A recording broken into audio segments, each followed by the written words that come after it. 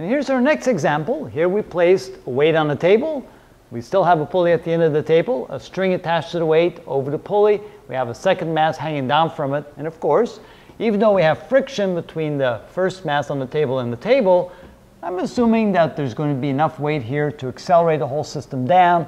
And of course, by the time this weight hits the ground, we want to know how fast that object is moving, assuming that the distance is 5 meters. So it's a very tall table. All right. Uh, how do we do that? Again, we use the very same equation. We say that uh, energy initial equals energy final. And so we have potentially some work put into the system plus some initial potential energy plus some initial kinetic energy. And that should equal the final potential energy of the system plus the final kinetic energy of the system plus any energy loss due to overcoming friction. Of course, in this case, we realize since there is friction there, we're probably going to lose some energy. All right, let's determine what we have. First of all, I don't see anybody pushing anything while the system is moving, so no work input. There is potential energy. Now, notice that this is some distance above the ground, and this is some distance above the ground, but since this mass, assuming the table is at least 5 meters long, so this doesn't hit the pulley, this mass will not change in height. So we can just simply ignore the potential energy of this mass. So this is the only mass that's going to be changing height, so therefore this mass is going to be changing potential energy. So the initial potential energy can only be considered to be this amount right here. So we'd say m2gh, completely ignoring the potential energy of that mass, since it doesn't change anyway, and it would be the same on both sides of the equation, so we just ignore it. All right, how about kinetic energy? Nope, no kinetic energy because it starts from rest. Potential energy final, Strangely enough, even though that mass is up there, again, since we didn't account for it on the left side equation, we're not going to account for it on the right side equation. And this mass will have reached the ground, so at that point there will be no, uh, no potential energy, so that will be zero. But the system will be moving. Both the small block will be moving down, the large block will be moving to the right, so they both will have kinetic energy. So we write 1 half m1 plus m2 times V final squared. Notice, of course, that's the V final we're looking for.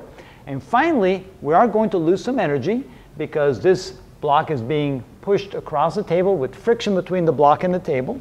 So realize there's going to be gravity pulling down on the mass, so we have m1g.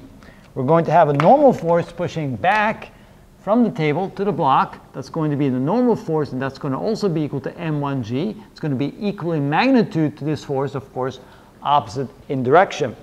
And then we have a friction force. Since the block is going to be accelerating to the right, we expect the friction force to be directed to the left. And so force friction is going to be equal to the normal force times mu. And since the normal force is m1g, this is going to be m1g mu. So how much energy will the system lose while it's accelerating? Well, since this block is being pushed up against gravity, or pushed against gravity, we're going to lose energy to the tune of force times distance. And the force in this case is going to be the friction force. So this is going to be plus the friction force times the distance that this block will travel.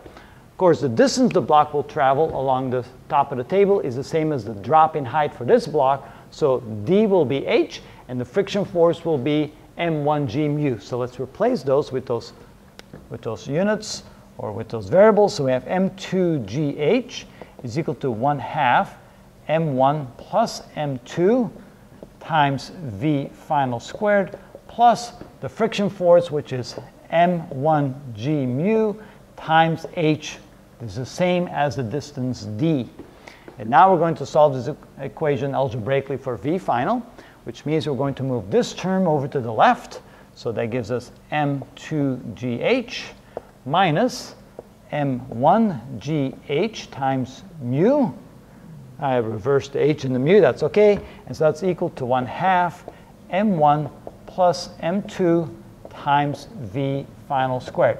The next step we're going to take is we're going to multiply both sides by 2. So this 2 comes over here. Divide both sides by m1 plus m2 right there, which goes then over here. And we could factor out a g and a h from the numerator. So when we do that, we get the following. So this 2 moves up over here, so we get 2. We're going to factor out the g and the h, and then we're left on the left side with m2 minus m1 times mu. and we divide the whole thing by the m1 plus m2 that now moves over here in the denominator. So that would be m1 plus m2. And then the only thing we have left on the right side of the equation, since we got rid of the 2 and we got rid of the m1 plus m2, we have v final squared. And now what we're going to do is we're going to take the square root of both sides, and I like to move the equation around, put the v final on the left side, take the whole left side, put it on the right side, take the square root of both sides, so we can say that v final is going to be equal to the square root of 2gh times m2 minus m1 times mu divided by m1 plus m2. And notice again that we see that square root of 2gh in there, which would be the velocity of the system if maybe you cut the rope and the block was just free falling to the ground, it would have the velocity equal to this. But since it's attached to a string, the string is attached to this mass, that mass also needs to be accelerated and must be pushed against the force of uh, friction here. There's a adjustment factor here that makes it less than what it would have been without all that. So now let's plug in numbers and see what we get. The final is equal to the square root of 2 times g, which is 9.8 meters per second square. The h is 5 meters times m2, which is right here, 5 kilogram, minus m1, which is 10 multiplying times mu, which is 0.2, and the whole thing divided by 10 plus 5. Keep it in the same order. All right, now let's simplify this. So we have v final is equal to the square root of, that would be uh, 10 times 9.8, so that's 98, times 5 minus 10 times 0.2 is 2, so that's 3, all divided by 15. And of course, 3 and 15 simplifies to 1 and 5. So that's 98 divided by 5, which is, hmm, 5 goes into 120 times. So that would be 19.6. So this is the square root of 19.6. And what's the square root of 19.6? Hmm, let's find out. 19.6, take the square root, and it's 4.43 so meters per second. I leave the units out because otherwise it gets really messy. It's easier to see it without units. Quick check to see if we did everything right. So 10 times 9.8 is 98.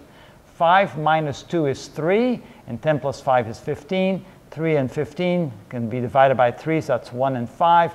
5 goes into 98, well 5 goes into 100 20 times, 5 goes into 95 19 times, so it looks like 19.6 is correct, and there's the final answer. So quick review, identify what we have. We had no work input, we had initial potential energy because of this mass. We ignored this one because it didn't change height. We had no kinetic energy because the block started from rest. The final potential energy is zero because this block is down on the ground. They both will be moving with the final velocity, and so we account for the 1 half mv squared for the kinetic energy. Of course, we have to add both masses. And then finally, we lose energy because we have the friction force times distance, and the friction force is m1g mu. And the distance, of course, is the same as the height that the block falls. And that's how you do that problem.